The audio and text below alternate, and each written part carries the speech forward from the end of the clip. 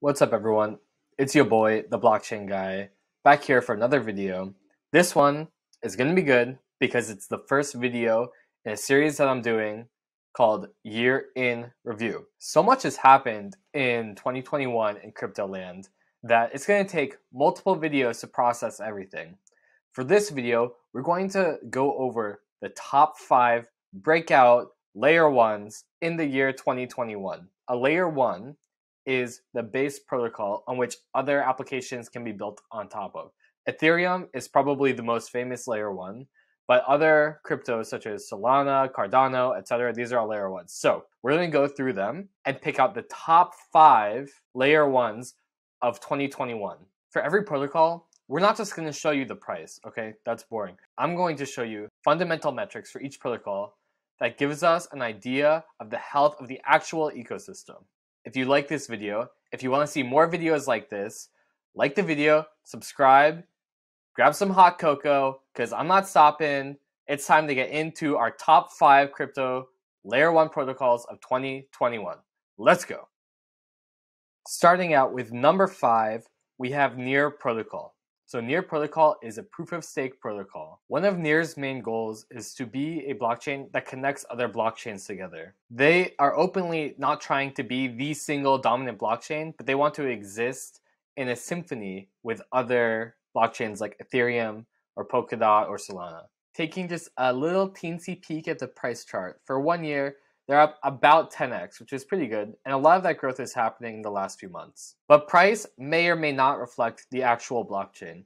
Let's look at the actual usage by looking at their bridge. The Near Rainbow Bridge is its Ethereum bridge, where you can bridge assets to and from the Near protocol. This dashboard has some of the actual stats of the activity that's happening on the bridge. The one I want to focus on is number of input transactions. Near's Ethereum Bridge was launched in March, and here you can see the number of transactions actually going into the bridge, into the Near protocol. As you can see, there wasn't really any activity for a long time, but in the last few months, that activity has been picking up and up. Just in general, Near has made a lot of progress this year, and it seems like they have a lot of momentum in the last three months moving into next year. Speaking of momentum, at number four on the list, we have Avalanche. Avalanche is an EVM compatible blockchain, which means that any applications that were deployed on Ethereum can also be deployed on Avalanche without doing any more coding. There's been a lot of interest in Avalanche over the last few months, with their main benefits being fast and low cost transactions. They also have low hardware requirements in terms of being a validator, which is important for decentralization. Looking at the price, Avalanche was $3.13 on January 1st, 2021, which means it's gone up around 40x. Here's the DeFi Llama dashboard for Avalanche. As you can see, starting with almost no value, um, just a few million dollars, Avalanche total value locked has skyrocketed up to 12 billion.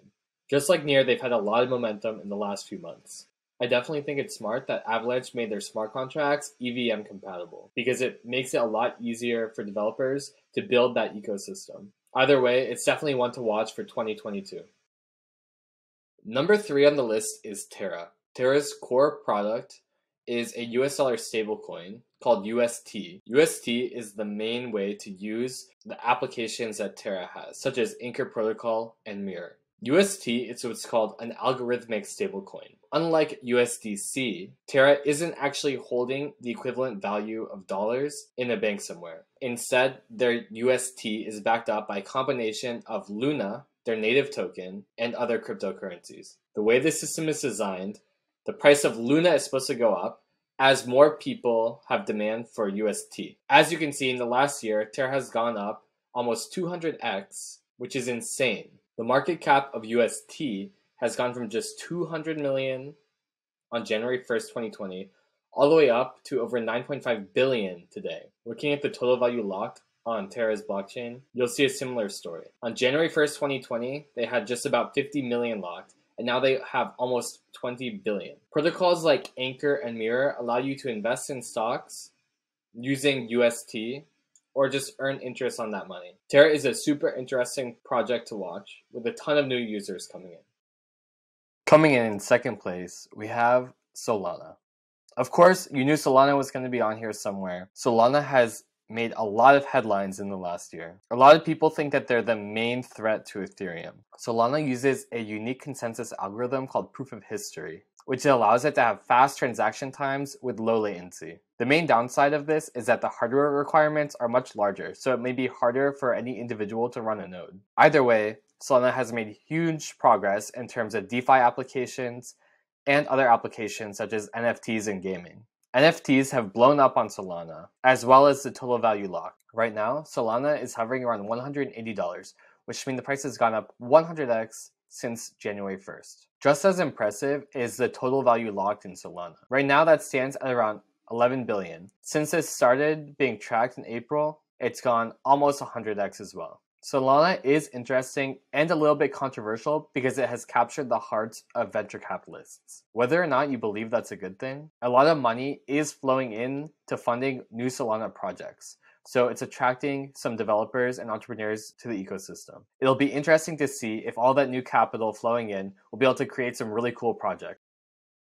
My pick for the top L1 of 2021 is Ethereum. I know that this is kind of a spicy take. Ethereum has not grown as fast as any of these other protocols, but in absolute terms, Ethereum has become a juggernaut. Their total value locked has gone from around 18 billion on January 1st to over 156 billion now. Going 10x is awesome, but in absolute scale, adding 130 billion dollars of value is amazing. It's also important to consider a lot of things that may have value on Ethereum, such as NFTs, are not counted in these numbers. The price of Ethereum has gone up about 5x since January 1st, 2020. The NFT craze, in combination with DeFi, has brought tens of millions of users into crypto. Many of these users created their own wallets and interacted with smart contracts for the first time. Ethereum has also shifted into becoming a base layer for other layer 2s. Because the fees on Ethereum have gotten high, a huge number of layer 2s and sidechains such as Polygon, Arbitrum,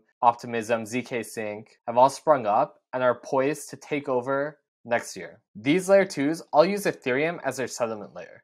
And so the better that they do, the better Ethereum does as a protocol. Ethereum has broken into the mainstream, and I believe that in the next year, we're going to see some applications on Ethereum that people couldn't even imagine beforehand. Anyways, that's it for my video. I hope you enjoyed. I hope you learned something. If you want to see more of my year in review series, go ahead and like this video and subscribe so that I know to make more. I'll see you in the next video.